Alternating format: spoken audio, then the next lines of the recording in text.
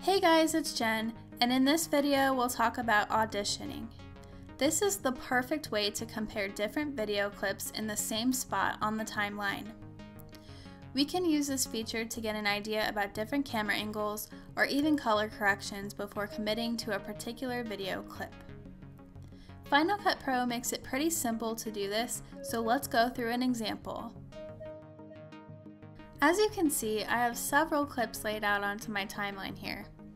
Maybe I'm not so sure about this last one. I think I'd like to try a couple more out before I finalize my selection. So what I'll do is go up to the clip browser and find something else that may look nice. Maybe this clip of people waving the balloons will look better at the end of our promo piece. Let's go ahead and set an in point here by pressing I on the keyboard and an out point by pressing O. Now that we've got a section of this clip highlighted, we can go ahead and bring it into the timeline for the audition. Just hover the clip over the one you aren't sure of and you'll see a sort of white overlay appear. If you let go of it, you'll see a few different options pop up. The one we need to select is the one right here called Add to Audition. So now that our clip has been converted to an audition, we can click on this little spotlight here and check out what we've got.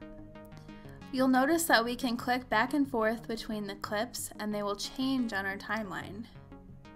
We can even bring in additional clips to the audition.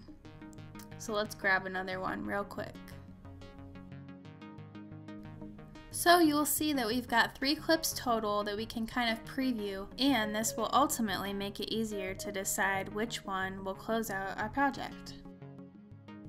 Now that we've chosen our best clip, we can go ahead and finalize it by going up to the clip menu and scroll down to where it says audition.